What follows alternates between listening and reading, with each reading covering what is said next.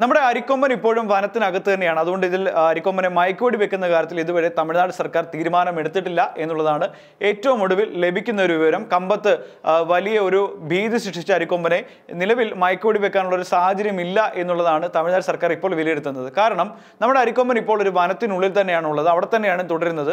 അതുകൊണ്ട് അതിക്രമിച്ച് കയറി അവനെ മയക്കോടി വെക്കേണ്ട ആവശ്യമൊന്നുമില്ല എന്നാണ് നമ്മുടെ തമിഴ്നാട് സർക്കാരിന്റെ വനം വകുപ്പ് ഉദ്യോഗസ്ഥരൊക്കെ തന്നെ ഇപ്പോൾ തീരുമാനമെടുത്തിരിക്കുന്നത്. അവസാനം സിഗ്നൽ ലഭിക്കുമ്പോൾ അരിക്കൊമ്പന് ഉള്ളത് ചുരുളിക്ക് സമീപമാണെന്നാണ് ലഭിക്കുന്ന ഒരു വിവരം.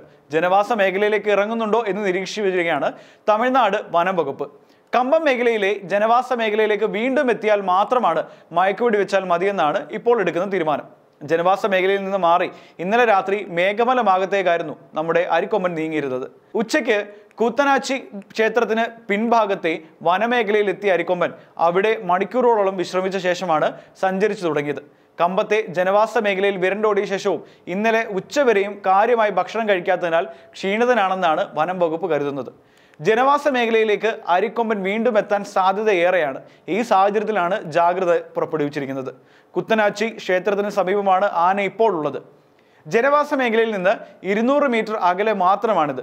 നേരത്തെ സിഗ്നൽ ലഭിക്കുമ്പോൾ അരിക്കൊമ്പൻ ഉണ്ടായിരുന്നത് ചുരുളിപ്പേട്ടിക്ക് ഒന്നര കിലോമീറ്റർ അകലെ മാത്രമായിരുന്നു. കാടിറങ്ങിയാൽ അരിക്കൊമ്പനെ മയക്കോടി വെച്ച് പിടിക്കാനുള്ള നീക്കത്തിലാണ് തമിഴ്നാട് വനംവകുപ്പ് ഇപ്പോൾ തീരുമാനമെടുത്തിരിക്കുന്നത്.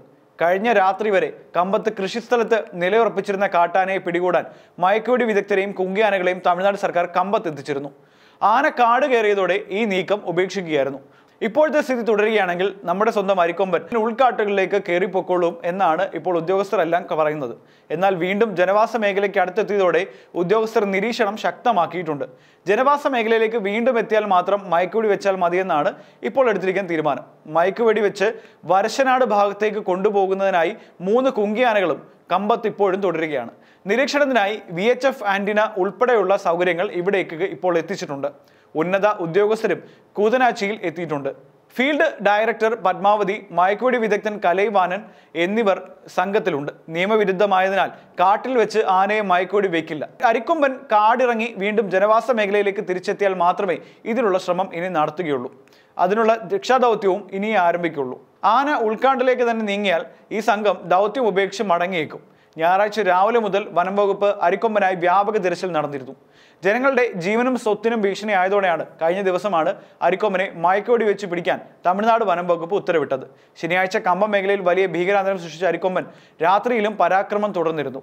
മുപ്പത് വരെ കമ്പത്ത് നിരോധനാജ്ഞ പ്രഖ്യാപിച്ചിരിക്കുകയാണ്. എന്തായാലും അരിക്കൊമ്പൻ കമ്പം ഭാഗത്ത് തന്നെ ഇപ്പോഴും തുടരുന്ന ഒരു വാർത്തയാണ് വരുന്നത്. മാത്രമല്ല നിലവിൽ വെടിവെക്കാനുള്ള ഒരു ഉത്തരവ് തമിഴ്നാട് സർക്കാർ ഉണ്ടാക്കുന്നില്ല. പകരം ഈ ഒരു പ്രശ്നം ഇല്ലെങ്കിൽ അരിക്കൊമ്പൻ ഇനി ജനവാസ മേഖലയിലേക്ക് എത്തിയാൽ മാത്രമേ ഇനി വെടിവെപ്പ് ഉണ്ടാകുള്ളൂ എന്ന കാര്യമാണ് തമിഴ്നാട് സർക്കാർ പറയുന്നത്. എന്തായാലും നമ്മുടെ അരിക്കൊമ്പന്റെ ആരോഗ്യസ്ഥിതി വളരെ മോശമാണ് എന്നുള്ളതാണ് പറയുന്നത്. തുമ്പിക്കൈയിൽ ഒരു മുറിവുണ്ട്.